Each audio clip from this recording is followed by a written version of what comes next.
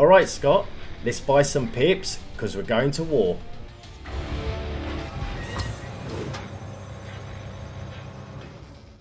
Alright, Steve, we checked out this fun little game. This is Warpips, and we're playing it on Steam. Now, this game is kind of sort of a, a, tug of war of sorts, if I could explain kind of what's going on here. You jump into a map, and it's a very simple kind of concept. You have a base, they have a base, and you're both spawning units to walk through no man's land and eventually destroy the enemy base. That's the whole idea. It, it goes a little longer where you kind of go through a, a range of levels on your way through a campaign, but every scenario is kind of posed in the same manner. So that's basically the premise how this game works, but how did you find jumping into this one? Don't be too excited about the graphics because it's very retro and as we sort of mentioned before it kind of felt like when I was playing the old Commodore 64 it's very 8-bit kind of pixelated style mm-hmm. but one thing I will say it is addictive and don't get too cocky in this game either because it's not straightforward it's a lot of thinking and planning in this game yeah there's an actual interesting amount of strategy to this it is kind of a simple concept you begin every map by choosing what units you want to bring to that fight. So you can kind of try and be conservative with your forces and have a hard time at the beginning, but hopefully an easy payoff. Or you can just rush with your hardest, strongest units. But you spend them in that fight, and you may have a while to go before you can recuperate them. So there is actually quite a lot of strategy to it. But that's kind of where the detail of this game falls off because, as you say, the graphics are quite dated. They're not hard to look at, but they're certainly not stretching my hardware uh, whatsoever. Now, that kind of brings me to my first real sticking point with this game because I agree with you, it is addictive, and especially when you get on a roll.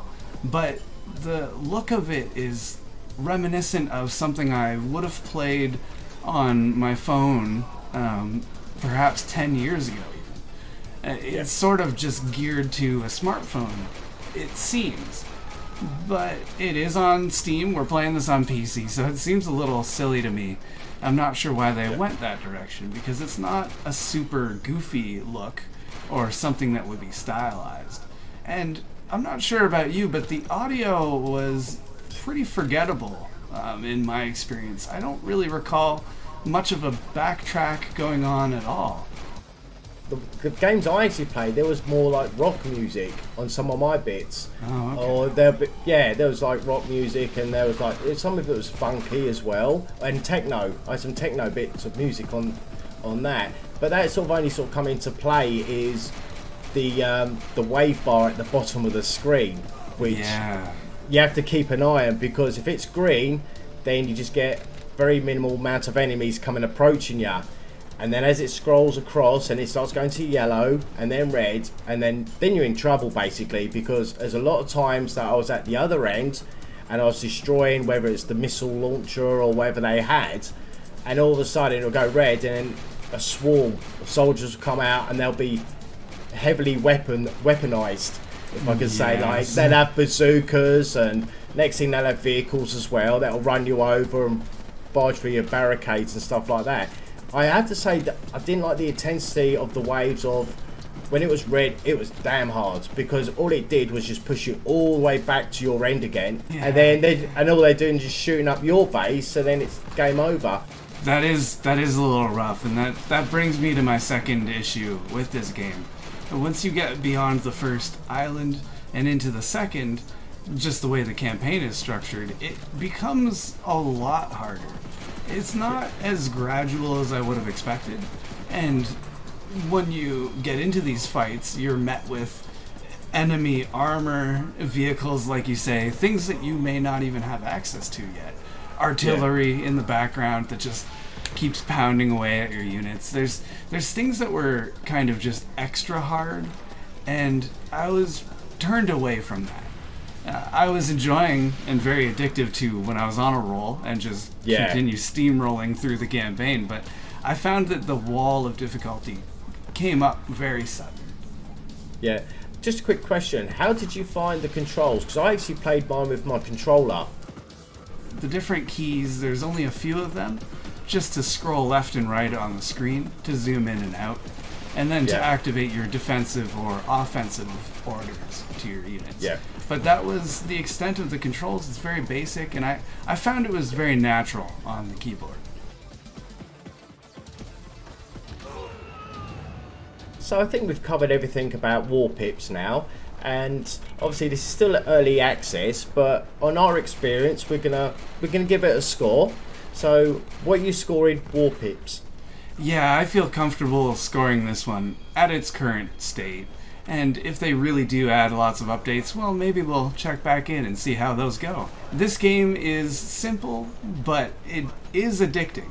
There is actually a good, strong pull to the strategy for me, and I really did have a good time with it. But the appearance of the game is a serious issue for me because it's in the modern era and it seems quite dated. But that and the simplicity of the game can only go so far before it gets repetitive, which will have most players bouncing out pretty early. I'm mixed feelings with this one. I think it's quite a good game, but I'm with a 6.5 on this one. Nice. Basically, I'm exactly the same on you and everything you touched about, touched on about.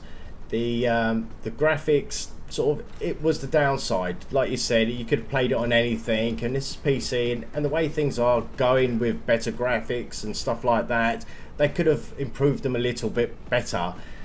The wave levels, I think, was too diverse. Basically, it was some will be easier, and then it will just be virtually impossible and very frustrating after 20 minutes.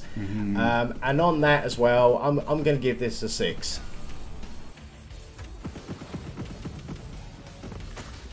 Warpips is a very simple concept with deep strategy and addictive action.